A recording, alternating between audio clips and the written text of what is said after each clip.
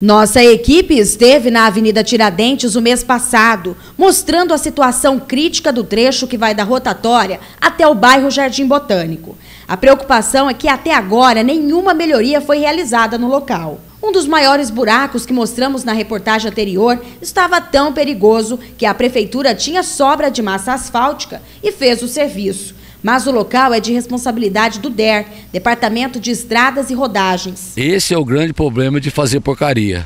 Faz a coisa mal feita, depois quer ganhar nos concertos. Vê se tem algum buraco na pista principal lá, que é feito com responsabilidade. Isso aqui faz porcaria, depois fica qualquer chuvinha, cria buraco. Aí demora para consertar. A hora que acontecer uma tragédia, eu quero ver o que vai acontecer. Aí cara vai, tem que ter problema de consciência. Tudo é uma questão de consciência. Começar bem feito, começa mal feito, nunca tem conserto. O Rodrigo foi pego de surpresa pelos buracos. Ele veio em Mococa a trabalho e ficou indignado com a quantidade de buracos. Surpresa, né? Eu acho que pela entrada da cidade, eu acho que teria que ter uma pista bem melhor. Por causa que se você for desviar do buraco, dependendo do coisa, você pode até colidir contra o carro que vindo em sua direção. Quem desvia de um buraco tem que tomar cuidado para não cair dentro de outro.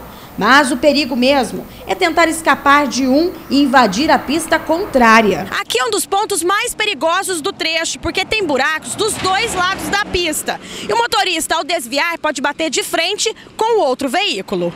Perigosíssimo, eu mesmo desvio. Se vier o de frente, eu ainda acho que tem uma certa habilidade. Quando não tem, pode acontecer um acidente grave.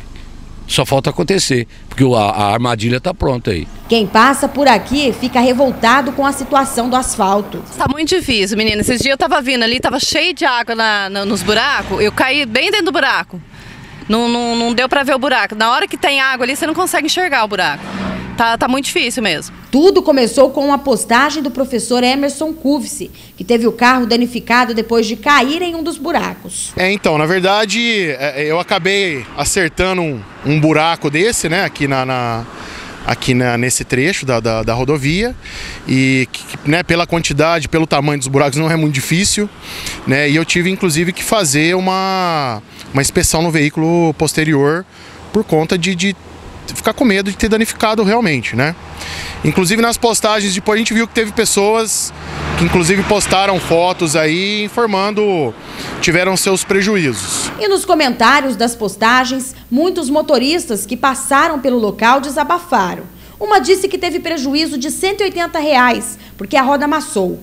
O outro postou o pneu do carro estourado e disse que quase sofreu um acidente. De dia ainda né, é uma coisa que a gente não tem que fazer, ficar desviando de buraco.